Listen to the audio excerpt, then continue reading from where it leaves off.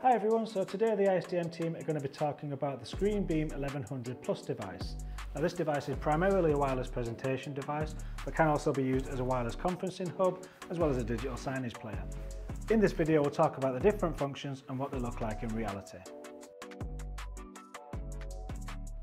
The first function that I'll talk about is a wireless presentation functionality of the device.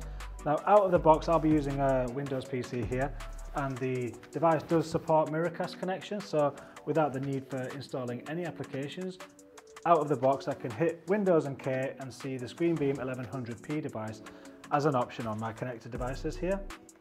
If you select that it will ask for a PIN number which is displayed on the screen that is connected to the ScreenBeam device. Now this can be set to change every single connection for security reasons or if you wanted to as an organisation you could set that to be a static pin so it's the same on every connection completely up to you which one you choose. In this instance, I'll choose the 5471, which is a, a randomly generated pin code. Once I've hit that in, you can see that my PC is then transferred over to the screen that's connected to the device um, on duplicate mode. That mode can be changed here. If you change projection mode, you can choose to extend, disconnect or second screen only. Everything you'd expect to happen on a a wireless presentation occurs here. So you've got your audio transfer, which you can see here. Digital output is set to the ScreenBeam 1100p automatically. And anything you do on your screen will be duplicated on that screen there. So I'll just disconnect from this session here and then discuss how we connect using the application that ScreenBeam have developed. So the second way to connect to the device wirelessly is using the ScreenBeam conference app, which is available at the website displayed here. Once downloaded and opened up on your laptop, if you're in the same proximity as the device, if you hit the project button only, what it'll do is open up your Miracast connections like it was in the first instance. Same methodology of connecting. Click the device you want to connect to. PIN number will display on the screen. Type in that and then it'll basically do the same thing as what was shown on the Miracast connection. Now, because it's just a wireless presentation screen sharing only, it's exactly the same functionality. The application is mostly going to be used for the conferencing uh, function, which we'll talk about next.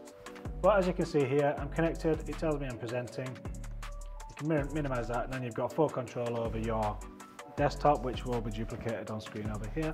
Again, audio will be transmitted across using the ScreenBeam as the digital output.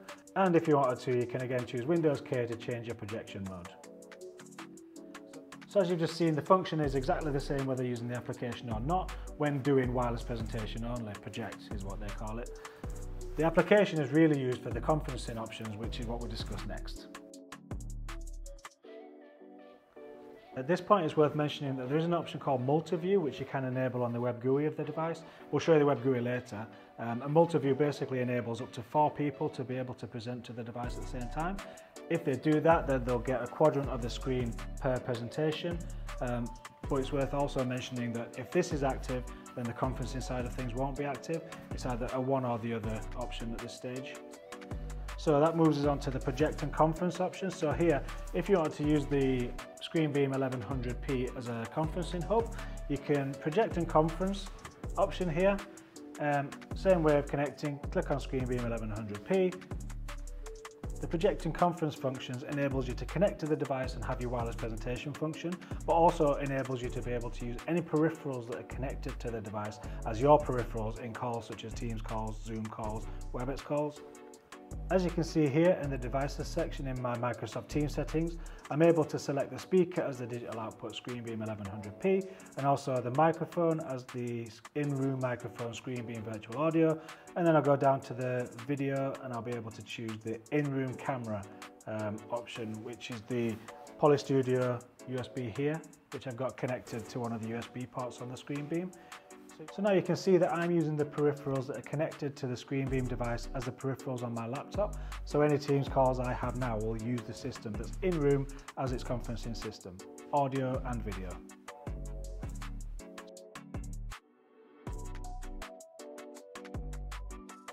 If you wanted to do a wide connection to the device, you can do this. The ScreenBeam does have a HDMI ingest port. As you can see here, I've got a HDMI plugged into the laptop, which is plugged into the ScreenBeam and that is being duplicated on screen. Now this will be supported on Windows and MacBooks, however will only just be for sharing, it won't incorporate the uh, conferencing side of things.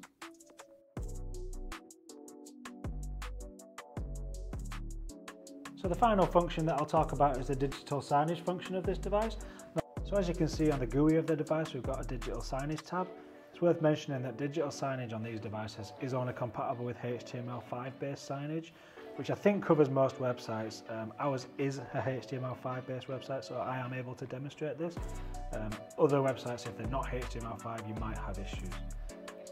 To enable digital signage, you just hit the enable radio button here, put in the host of the website and the URL here. It does give you some rules that it must match and what's not supported, what is supported. Um, the restart delay basically tells the device to start your signage 10 sec in this instance 10 seconds after a connection is being disconnected. So if I've been presenting that will take priority and digital signage will go away. When I stop presenting 10 seconds later the digital signage will start. Um, digital signage update frequency I'm going to leave as no update. Digital signage volume I'm going to leave on mute. So if I hit apply there are you sure you want to change these settings? Yes and as you can see, after the settings have taken on the device, 10 seconds later, our website is displayed as a digital signage page. It's not interactive um, and there's just there is a video embedded in the background of our website. This website isn't designed to be a digital signage website, so it's just used for demonstration only. If you wanted to use the device for a uh, digital signage device, you'd have to develop a website, I guess, that hosted HTML5 content in a way that you wanted to you know, display your content on screen. Um, but it's worth showing you how that works. It's really good. The refresh rate's really good. And it will just constantly play until somebody comes and connects to the device, which I'll just show you now, just to show you what happens um, when you do connect back up when digital signage is playing. So you can see again, as before, I've connected via Miracast. A code comes up on screen.